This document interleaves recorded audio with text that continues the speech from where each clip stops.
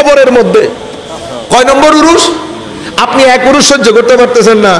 আল্লাহ, আল্লাহর বান্দাদের জন্য এই দুনিয়াকে উরুস করেছেন, মৃত্যুকে উর্স করেছেন, কবরকে উর্স করেছেন, কিয়ামতের ময়দানকে উর্স করেছেন, শেষ পর্যন্ত জান্নাতে যাওয়ার আগের সময়টাকে উর্সময় করেছেন। আমরা এক উরুস নিতে পারতেছি না। আল্লাহর ওলিদের এই যে মৃত্যুকালীন যে ওর্স মৃত্যুকালীন মত রু কবজ করতেছে।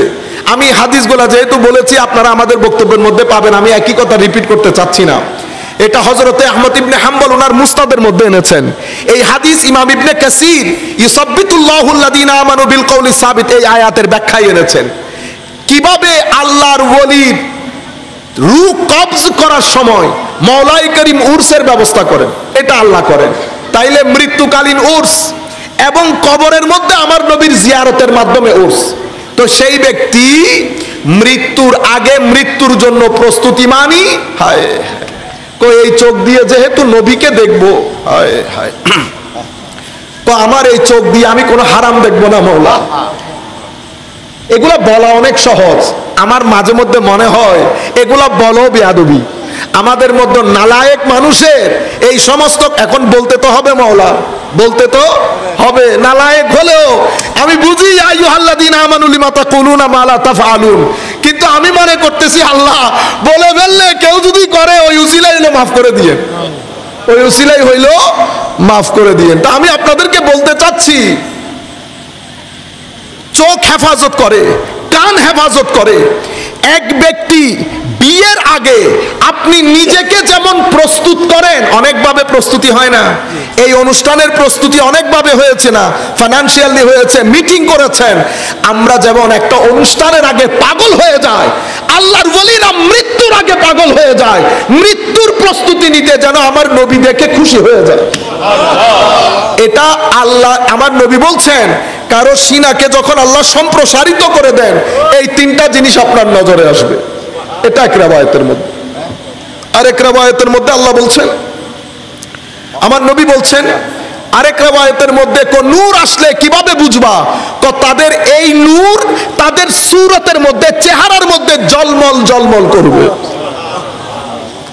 আমার নবী বলছেন, এবং এই নূরের কারণে যেই তুমি তার চেহারার দিকে তাকাবে, তোমার দৃষ্টি তার চেহারার দিকে, তোমার অন্তরের মধ্যে এসকে ইলাহির ডে উঠবে। তুমি দেখছেন কাকে? দেখছি বলি দেখছি আল্লাহর বান্দাকে। কিন্তু আল্লাহর বান্দার চেহারার নূর আমার অন্তরের মধ্যে এসকে ইলাহির ঢেউ খেলিয়ে দিচ্ছে। কেন?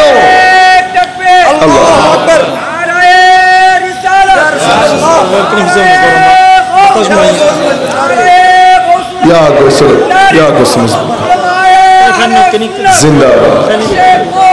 মার্শাল্লাহ জিন্দাবাদ। আমি আপনাদেরকে বলতে চাচ্ছি, দৃষ্টি ব্যক্তির দিকে। আপনারা বলেন ব্যক্তি পূজারি, বলে না? কই তারা ব্যক্তি পূজারি? এটা ব্যক্তিবাদে কিছু নাই। ব্যক্তিবাদে কিছু নাই। সিরাতুল মুস্তাকিমও ব্যক্তির নাম। সিরাতুল মুস্তাকিমকে আল্লাহ বই কেন্দ্রিক করে নাই, ব্যক্তি কেন্দ্রিক করছে। যাই হোক, আমি যেটা আপনাদেরকে বলতে চাচ্ছি তো আমার নবী সাল্লাহ আলহাম বলছেন, চেহারার মধ্যে দেখলে তোমার অন্তরে আল্লাহর প্রতি প্রেম, আসক্তি বেড়ে যাবে। তার জবানের কথা যদি শুনো তোমার ভিতরে এলমো হ্যাকমত না জানার যে পিপাসা, সেটা তৈরি হবে। নতুন নতুন তথ্য জেনে তুমি তোমাকে সুসংহত করতে পারবে তার জবানের কথা। এখানে কোনো হিংসা থাকবে না, কোনো হুঙ্কার থাকবে না, কাউকে কাফের বলা থাকবে না, কাউকে ফাসেক বলা থাকবে না, সর্বসাকুল্যে হুমকি, হুঙ্কার এগুলা থাকবে না। এগুলা কখন হয়? জবানের মধ্যে এরকম লাগামহীন কখন হয়? তো লাগাম জবান লাগামহীন হয় যদি সিনার মধ্যে সম্প্রসারণ না হয়। এখানে নূর থাকবে, এটাতে লাগাম থাকবে। এটাতে নূর থাকবে না, এটা লাগামহীন হবে। কারণ এটার ব্যক্তিগতভাবে কোনো পাওয়ার নাই। এটা হইল ওসিলা। এটা ইচ্ছে করলে কিছু বলতে পারবে না। যতক্ষণ আকল সেন্টেন্স ডেলিভারি না দিবে। বিবেক বাক্য বানায় অনেক হতা খন দিন এডে এডে কি হয় দিছি টেঙ্গের। এই এটা প্রডিউস হয় আর কি, এখানে বানায়। বনে এখানে, এটা ডেলিভারি সেন্টার এটা দিয়ে ডেলিভারি যায়।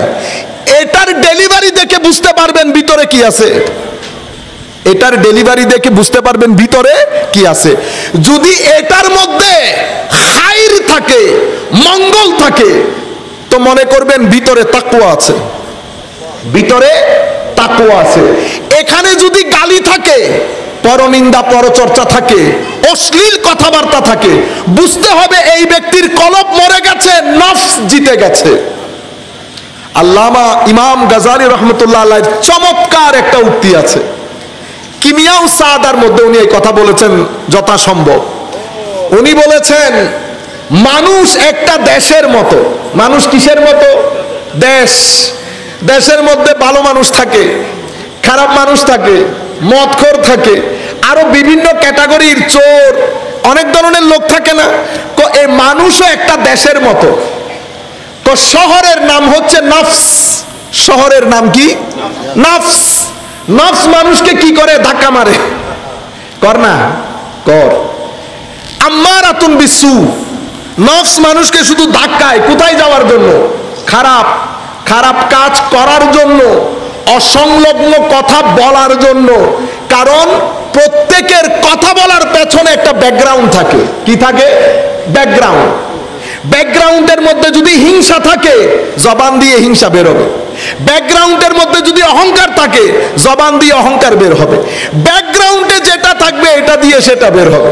কিছুদিন আগে এক ভদ্রলোক বলতেছেন, হনা হদে আইনের হদে হইতাম ন সাই হদে আই স্লিপ অফ টাং গিয়ে দে। কি গিয়ে দে? Slip of tongue. তো ইয়েন দিয়ে আর বড় মানুষ আছিল। আইও আসিলাম আই নবাতি লই। ও আরা মাদ্রাসাত ফইল দর্শন, বিজ্ঞান, আরও কিছু কিছু নবজি একবার এলে নয় তো এখন ইব হত হচ্ছে না, স্লিপ অফ টাং হইলে তার কোনো কথা নাই। তো সাইড দিয়ে তারা জারবি আহদু মাইলে লেখা বনে বইজুন বা? স্লিপ অফ টাং কিনলে ওদের স্লিপ অফ টাং হওয়ার তো একটা কারণ আছে। যতক্ষণ পর্যন্ত কোনো কথা আপনার ব্যাক অফ মাইন্ডের মধ্যে থাকবে না, ততক্ষণ পর্যন্ত আপনার টান স্লিপ করবে না। আপনারা বুঝতে পেরেছেন? অনে স্টোর নিতে হতাইয়েন আসিল আই অনরে ফুসর করে দি স্লিপ হইয়ে কিল্লাইয়েন ন। আই ফুসর করতাম সাজ দিয়ে স্টোর নিতে কিল্লে রাখুনিয়েন এটা আবার কি ধরনের কথা? আল্লাহ বল, শুনেন। টাং স্লিপ করে কখন? এটার কোনো সামর্থ্য নাই। একটা লফস বের করা যদি এই জায়গার ভিতরে সেন্টেন্স এই গুদামের মধ্যে যদি বাক্য না থাকে, এই গুদামে যদি কথা না থাকে, এটার কোনো সাধ্য নাই কোনো সেন্টেন্স ডেলিভারি দেয়। আপনার এই জায়গার মধ্যে বাক্য বানাইছেন, বানাই রেখে দিছেন। আপনি চাইছেন গোপন করতে, আল্লাহ চাইছে বাইর করতে। আপনি এটার নাম দিছেন স্লিপ অফ টাং আমি বলি স্লিপ অফ টাং হওয়ার আগে সবকিছু এখানে থাকে। আমি বলতে চাচ্ছি, স্লিপ কেন হয়েছে সেটা না। আপনি স্টোরে এটা কেন রাখলেন সেটা? আপনি এখন বলেন এটা স্টোরে কেন রেখেছেন?